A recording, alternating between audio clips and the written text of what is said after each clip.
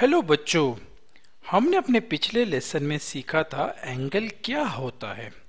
आज इस लेसन में हम अलग अलग तरह के एंगल्स यानी कोण के बारे में और जानेंगे। सबसे पहले हम दोहराते जो हमने लास्ट लेसन में सीखा था, एंगल क्या होता है। जब दो रेखाएँ एक पॉइंट पर मिलती है, यह एक रेखा है, एक ये एक रेखा है। यानी एक लाइन यह है, एक लाइन यह है, दोनों एक पॉइंट पर मिल रही है तो वह एक एंगल बनाती है। यानी यह होता है एंगल तो हम यह कह सकते हैं एंगल उन दोनों रेखाओं के बीच का टर्न है जिस पॉइंट पर वह मिलती है। दोनों सीधी रेखाएँ जो एंगल बनाती है उन्हें उस रे, वो रेखाओं को कहा जाता है आर्म्स ऑफ़ एंगल यानी वो एंगल की भुजाएँ है। और जिस पॉइंट पर वह मिलती है उसे एंगल का वर्टेक्स कहलाया जाता है, यह पॉइंट जैसे। तो एंगल के लिए क्या क्या चीज़ों की ज़रूरत है? दो रेखाएँ जो कोई पॉइंट पर मिल रही है है ना? दो रेखाएँ और जिस पॉइंट पर वो मिल रही है यह होता है एंगल, है ना? और जो पॉइंट पे मिलती है उसको वर्टेक्स कहते हैं और एंगल की जो रेखाएँ होती है उन्हें आर्म्स कहते हैं। चलिए, अब हम विभिन्न प्रकार के एंगल्स को देखेंगे जो हमारी रोज़मर्रा की ज़िंदगी में हम देख सकते हैं। देखिए, इस समय सोना एक छोटी सी लड़की जस्ट आप लोगों की तरह ही पढ़ाई कर रही है। और घड़ी में क्या समय हो रहा है? छोटा काटा तीन पर है, बड़ा काटा बारह पर है, यानी में, है, तीन बजे है है ना? तो घड़ी के दोनों हाथ एक पॉइंट पर मिलते देखिए किस पॉइंट पर मिल रहे हैं, बताइए। इस पॉइंट पर, है ना? और दो हाथ है तो इसलिए यह एक एंगल बनाते हैं।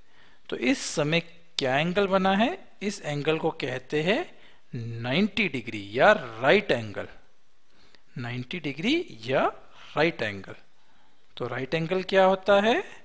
जब दो सीधी रेखाएँ मिलकर राइट एंगल बनाती है तो हम कहते हैं कि वह दोनों रेखाएँ एक दूसरे के परपेंडिकुलर है। एक सीधी और एक आड़ी। स्टैंडिंग स्लीपिंग मिला के एक परपेंडिकुलर लाइन हो गई। इस एंगल को 90 डिग्री या 90 डिग्री या राइट एंगल कहते हैं। यह एंगल देखिए, यह एंगल है 90 डिग्री का। जैसे बिल्डिंग के ज़मीन के साथ 90 डिग्री बनता है। ये ज़मीन एक लाइन है और बिल्डिंग क्या? खड़ी हुई लाइन एक लाइन है। ये दोनों मिला के एक 90 डिग्री बनाती है एंगल है ना? तो ये ज़मीन के परपेंडिकुलर है। हम कह सकते हैं बिल्डिंग ज़मीन के परपेंडिकुलर है, या बिल्डिंग और ज़मीन 90 डिग्री का एंगल बना रही है। बिल्डिंग की दोनों छोर भी 90 डिग्री का बनाती है। देखिए, ये और यह भी 90 डिग्री है है ना? पर एक बहुत प्रसिद्ध बिल्डिंग है लीनिंग टावर ऑफ़ पिज्जा यह बहुत प्रसिद्ध इमारत है। इसका देखिए ज़मीन के प्रति कैसा एंगल बन रहा है। यह ऐसा एंगल बन रहा है। कुछ टेढ़ा सा बन रहा है। तो यह बिल्डिंग 90 डिग्री का एंगल नहीं बना रही है है ना? और ये बिल्डिंग प्रसिद्ध ही इसलिए क्योंकि ये थोड़ी टेढ़ी है, इसलिए इसका नाम है leaning tower of Pisa leaning मतलब थोड़ी टेढ़ी है, ज़मीन की तरफ़ झुकी हुई है। बट सामान्यतः सारी बिल्डिंग ज़मीन के परपेंडिकुलर होती है, यानी वो ज़मीन के साथ 90 डिग्री का एंगल बनाती है। यह एक छोटा लड़का अमन है जो एक्सरसाइज कर रहा है। यह इसका एक हाथ है, यह इसका दूसरा हाथ है। चलिए देखते हैं कैसा एंगल बना रहे एक लाइन खींचते हैं यहाँ से यहाँ तक, इस पॉइंट तक और यह उसके दूसरे हाथ तक। तो ये कौन सा एंगल बन रहा है बच्चों? यह है 90 डिग्री यानी इसके दोनों हाथ एक दूसरे के परपेंडिकुलर है। यह हाथ दूसरे हाथ के परपेंडिकुलर है, यानी 90 डिग्री का एंगल बना रहे हैं। फिर से घड़ी लेते थोड़ा सा समय आगे हो गया, तीन बजकर पाँच मिनट हो रहे हैं। तो जब यहाँ पे थे, बड़ी सुई, तब तीन बज रहे थे, तब 90 डिग्री का एंगल था।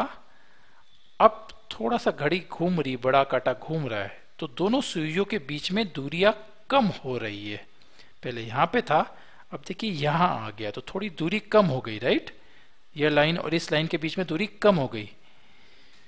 तो इस एंगल को कहते हैं एक्यूट एंगल क्या कहते हैं? एक्यूट एंगल मतलब जो 90 डिग्री से कम हो। 90 डिग्री कब था? यह लाइन यहाँ थी यहाँ थी तो परपेंडिकुलर थी। बट ये लाइन घूम के इधर आ गई तो 90 डिग्री से थोड़ा कम हो गई। तो इसे कहते हैं एक्यूट एंगल जैसे कैचियों के, दोनों भुजाओं के बीच का एंगल या फिर मगरमच्छ के दोनों जबड़ों के बीच में बनने वाला एंगल देखिए। ये जबड़े में एक लाइन ऐसे जा रही, एक लाइन ऐसी जा रही और यहाँ पे मीट कर रही है, मिल रही है। तो यह 90 डिग्री से कम है है ना? 90 डिग्री होता तो लाइन ऐसा होता, पूरा मुँह अगर ऊपर की तरफ़ खोल सके, मगरमच्छ तो वो 90 डिग्री होता। बट सामान्यतः इतना ऊपर मुँह नहीं खोल सकता तो इसलिए मगरमच्छ के दोनों जॉ के बीच का जो एंगल है, वह 90 डिग्री से कम है, वह भी एक्यूट एंगल है। है ना बच्चों? अब देखते हैं। यहाँ मैंने अपने हाथ की कोहनी ऐसे मोड़ रखी है। है ना? एक लाइन ऐसी जा रही, एक लाइन ऐसी जा रही और यहाँ पे जो कोहनी पे मोड़ रखा है। तो यहाँ पे क्या एंगल बन रहा है बताइए? क्या यह 90 डिग्री है? नहीं, उससे कम है। तो यह भी एक्यूट एंगल है। है ना? यह भी एक्यूट एंगल है।